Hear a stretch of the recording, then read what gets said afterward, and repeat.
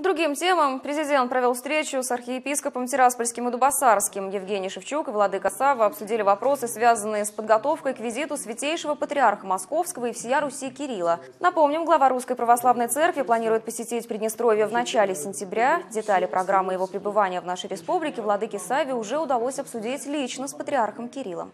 Сегодня Евгению Васильевичу я еще раз подтвердил а, такое благое намерение Святейшего Отца посетить после Кишинева город Тирасполь, окрестности Тирасполя, побывать в Бендерах, побывать в различных э, исторических местах. Через несколько, наверное, дней пройдет первая встреча под, председательством президента, на которой будет детально доложена ситуация, поминутно расписанной программы, скажем, Святейшего.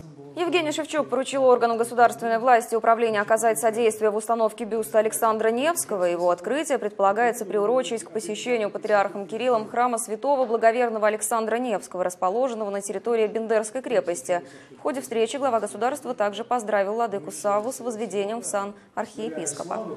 Для нас, в целом для республики почетно, когда наш владыка именно Приднестровской епархии удостаивается э, внимание патриарха и получает новый сан. Это говорит о том, что патриарх э, уделяет внимание и Приднестровье, и оценивает в первую очередь э, всю вашу работу, работу всей епархии.